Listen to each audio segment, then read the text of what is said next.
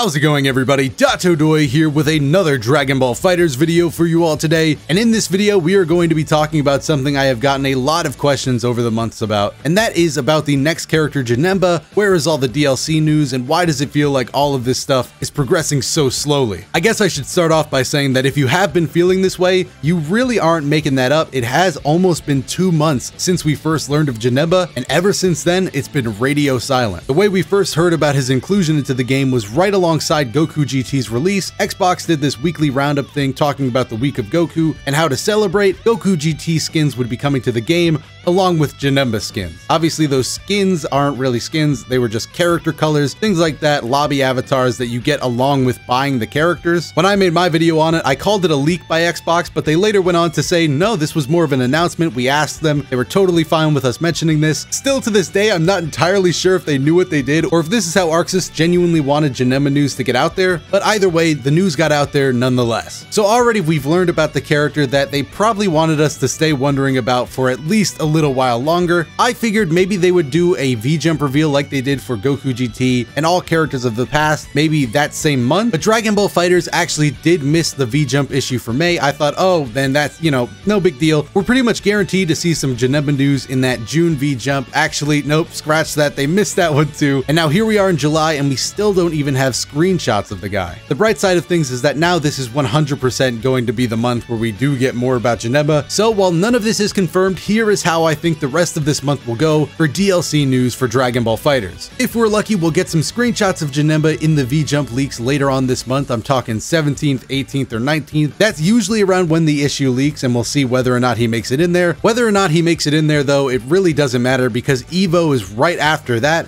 and Eh, you know, it's pretty much a rule at this point. If you are a current fighting game that has ongoing DLC, you kind of have to show something off for EVO. That's really just the way it is. Last year for Dragon Ball FighterZ, they were really hyping up the base Saiyans around this time, but because it was EVO and they were a Sunday game on the main stage, they also showed off our first look at Cooler. This was really awesome to see because up until this point, we hadn't seen any footage of Cooler or screenshots at all, it was really just a tournament announcement, a standalone. Something we wouldn't see again until the Dragon Ball FighterZ World Tour. Whether or not we'll see something like that again at this EVO is unlikely though, in my opinion. And here's what really makes me think that. So in the game's first EVO, we had already seen trailer footage of the base Saiyans as well as V-Jump leaks for the base Saiyans so we had pretty much already known about the characters, we knew what they were going to look like, and we knew that they had a dramatic finish together, all of that stuff. Really, the only way they could make the EVO announcement hype was by throwing in that little bit of cooler footage at the end as an unexpected bonus. Not to mention that Season 1 was also comprised of 8 characters instead of 6,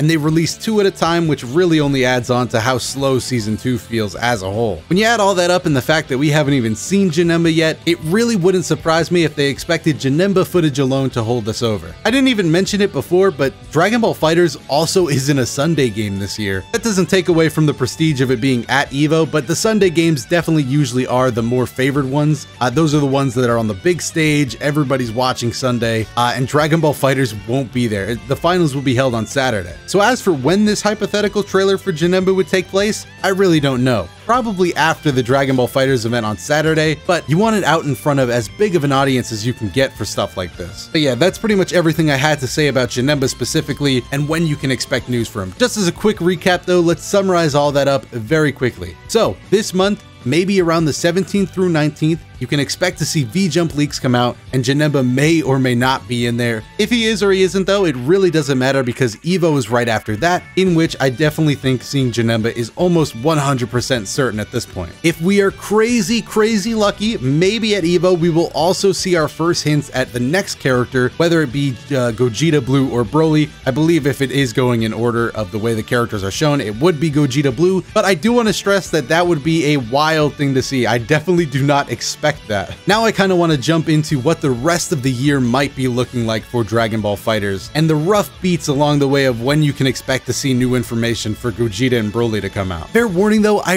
really don't know what they're going to do with Gogeta Blue and Broly. Obviously, you would expect to see some sort of dramatic finish between those two, but does the fact that they release one at a time affect that? Or maybe do they want to release both at the same time as kind of like a big celebration event? I don't know. I'm going to work under the assumption that they will continue to release one at a time, even even with Gogeta Blue and Broly. With this in mind, it's important to remember that there is a Dragon Ball FighterZ World Tour going on now, and while we don't yet know the date for the finals, it is important to remember that last year's finals ended January 26th through the 27th, while the last piece of DLC we got for Season 1 actually came out September 27th, so there was actually a pretty long wait between Season 1 ending and Season 2 starting up that a lot of people seem to underestimate. There was actually a decent chunk of time where there was just plain no news for Dragon Ball FighterZ at all. At the time though, the player base was pretty upset with how long of a wait that is, so I wouldn't be surprised at all to see Gogeta come out sometime late September, and then maybe around December we get Broly, and then that could smoothly transition us into the World Tour Finals. We'll have all the characters at our disposal to play with, and that'll just make a great final event, a great send-off to Dragon Ball Fighter Season 2, and then we'll see what they do with the game from there. And of course, in between the months of Gogeta Blue and Broly being released, you will obviously get those same V-Jump jump reveals, 30 second trailers coming out the month after the V jump, things like that, the standard Dragon Ball FighterZ procedure. That's something they haven't changed actually. Uh, they've kept that pretty consistent and I see no reason as for why they would change that. But yes, that pretty much closes up everything I think you can expect for Dragon Ball FighterZ DLC moving forward. And yeah, I know, it really sucks. It's a long wait. The cut from 8 characters to 6 has been a difficult thing to adjust to and I think moving forward with the game, if they do decide to do a Dragon Ball FighterZ 2 or a Season 2, they should definitely be looking at the way they handle DLC uh, for this game. Maybe look to moving it announcements to tournaments. Things like that I think are great for fighting games because they increase viewership for those key moments. Uh, and maybe they make people just really like tournaments in general so they go out and seek out more locals